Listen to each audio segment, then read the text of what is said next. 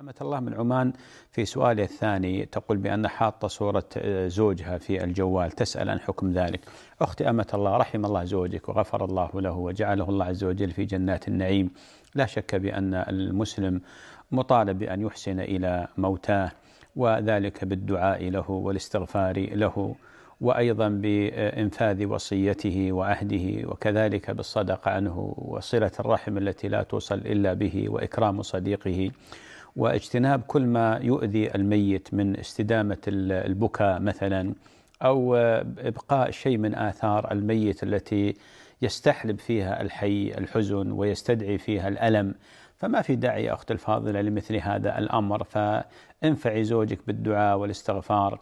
فإن ثبت بالنصوص الشرعية أن الميت له حق على الحي ومن جملة ذلك الدعاء وكذا مثل ما ذكرت قبل قليل. ووجود هذه الصورة لا شك بأن يعيدك دائما إلى الماضي يعيدك إلى دائرة الحزن يجعل يجعلك متألمة. فأنا أنصحك بأن تتركي هذا بارك الله فيك وتستشرفي حياتك ومستقبلك وتربية الأولاد وحتى لو كان في التعرض للزواج هذا مباح لك شرعا ولله الحمد والمنة.